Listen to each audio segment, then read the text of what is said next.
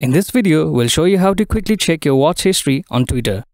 The process is simple and works the same way on both iOS and Android devices. So just follow along if you are using either one. Start by opening the Twitter app on your phone and ensure you're signed in into the account where you want to view your history. Tap on your profile in the top left corner, which will open a side menu. From there, select Settings and Support, and then go to Settings and Privacy. Next, tap on your account option at the top. Here, you'll find several options related to your account. To access your watch history, choose Download and archive your data.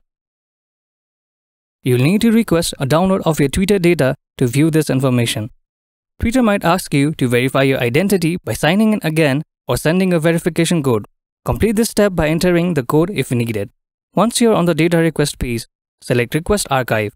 You'll see a message indicating that the data may take up to 24 hours to be ready for download. You'll be notified when the data is ready. After downloading the file, unzip to access all the information related to your Twitter account, including your watch history. Thanks for tuning in. If you find this video helpful, please give it a thumbs up and subscribe to our channel for more.